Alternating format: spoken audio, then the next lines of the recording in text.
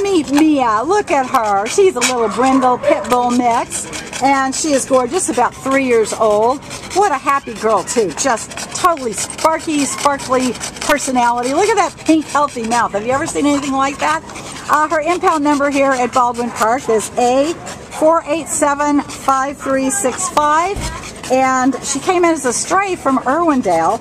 She's about 56 pounds and very good, very cooperative on leash, loves other people, loves dogs, I mean loves people, loves other dogs, and really loves to play, uh, very curious, look at her, very alert but very sweet as well. She would be a great family dog, uh, either with kids who can play with her. She's a ball hog, I understand. Loves to have the ball thrown. So if you got anyone working on their baseball skills, this is the dog for you.